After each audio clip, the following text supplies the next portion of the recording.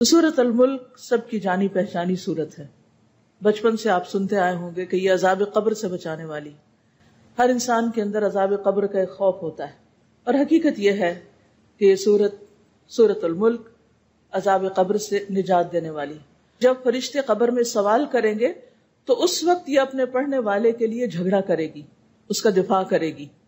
और ये उन सूरतों में से है जिन्हें हम रोज़ाना पढ़ते हैं। और अगर रोज़ाना नहीं पढ़ते तो हमें पढ़ना चाहिए। अहादीस से भी इस सूरत के कुछ फजाइल हमें मालूम होते हैं। उनको अगर इंसान जहन में रखे तो इसका हिफ्स करना, इसका पढ़ना, इसको समझना, इस पर गौर फ़िक्र करना और फिर इसको रोज़ाना पढ़ना आसान हो जाता है। मुस्लिम अहमद की रिवायत में इसे सफारिश करने वाली सूरत बताया गया। आप सल्लल्लाहु अलैहि वसल्लम ने फरमाया, अल्लाह की किताब में एक सूरत है, जिसमें सिर्फ़ तीस आयात हैं। ये आदमी की सफारिश करेगी।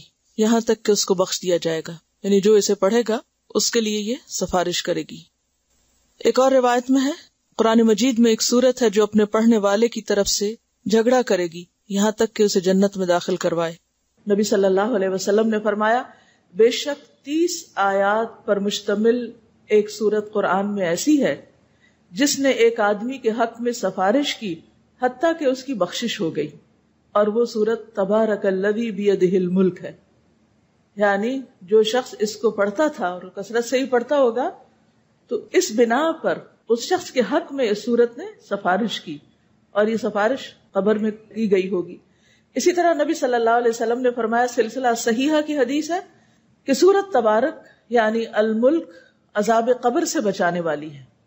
नबी सल्लल्लाहु अलैहि वसल्लम का मामूल था कि वो इस सूरत को पढ़े बगैर सोते नहीं थे।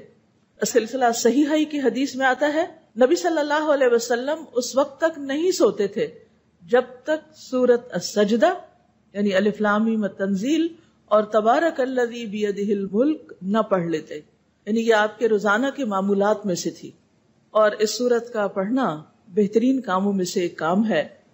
अब्दुल्ला बिन मसूद से मरवी है कि जिसने हर रात तबारक बियदिल मुल्क पढ़ी तो अल्लाह अज्जा उस बंदे को कब्र के अजाब से महफूज रखेगा।